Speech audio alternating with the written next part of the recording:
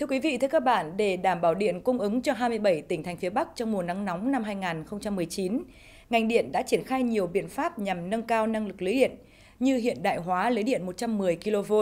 chống quá tải lưới điện trung hạ áp, nâng cao chất lượng lưới điện phân phối, đồng bộ công tác sửa chữa và đầu tư mới, xây dựng hệ thống thông tin giám sát quản lý vận hành.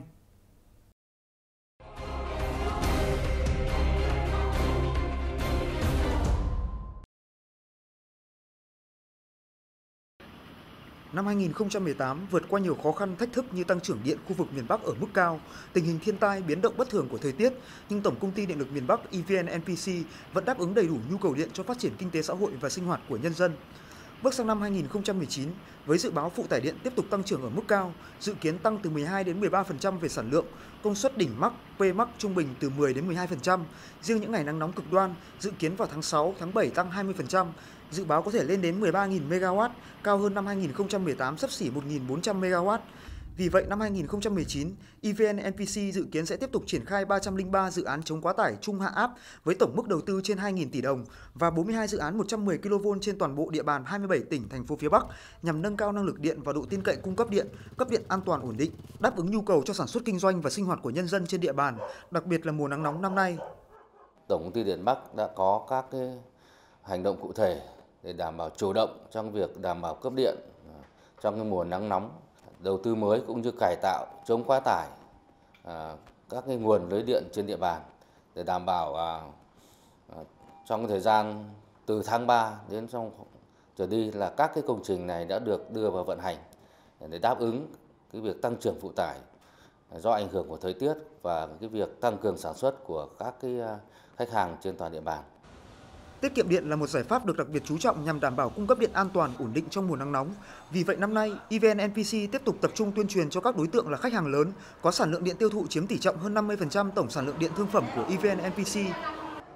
Ví dụ như tại công ty điện lực Nam Định, PC Nam Định, nhờ những nỗ lực triển khai nhiều chương trình tuyên truyền tiết kiệm điện, in ấn phát các tờ rơi quảng bá, cẩm nang, cuốn luật về sử dụng năng lượng tiết kiệm và hiệu quả, niêm yết tại các điểm giao dịch khách hàng các văn bản pháp luật về tiết kiệm đã không chỉ tiết kiệm được trên 1,9% lượng điện thương phẩm hàng năm mà còn tác động trực tiếp đến ý thức, hành động của khách hàng trên địa bàn.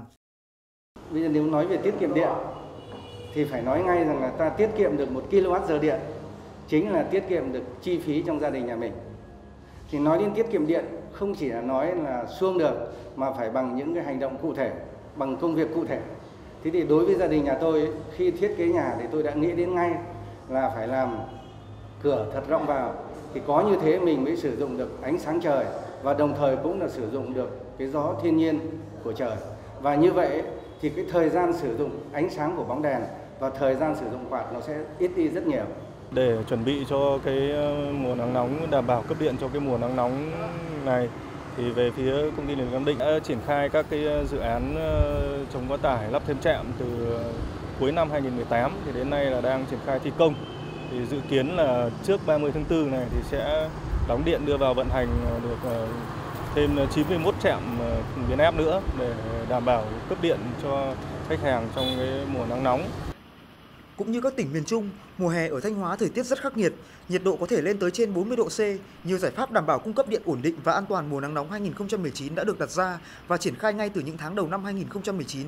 công ty điện lực Thanh Hóa đã tiến hành khảo sát, dự báo sự phát triển phụ tải, đặc biệt là các khu vực trọng điểm phát triển công nghiệp, từ đó xây dựng phương án đảm bảo điện mùa nắng nóng tổng thể trên địa bàn toàn tỉnh cũng như phương án cụ thể cho từng vùng miền. Đồng thời, tập trung đầu tư xây dựng các dự án chống quá tải, tăng cường củng cố lưới điện, chuẩn bị đầy đủ nhân lực, vật lực sẵn sàng ứng cứu, xử lý nhanh khi có sự cố xảy ra, đảm bảo cấp điện ổn định nhất. Hè 2019 chúng tôi cho, chúng tôi cho rằng là đây là một cái cái điểm nó thường là cái phụ tải tăng cao đột biến và trên cơ sở đó giả soát lại cùng với tất cả khách hàng sử dụng điện xem xét nhu cầu sử dụng điện của khách hàng và từ đó rà soát cùng với khách hàng những thiết bị thuộc tài sản của chúng tôi quản lý và tài sản khách hàng quản lý để làm thế nào đó, mục tiêu là phối hợp và cùng nhau để thực hiện cấp điện ổn định tốt nhất.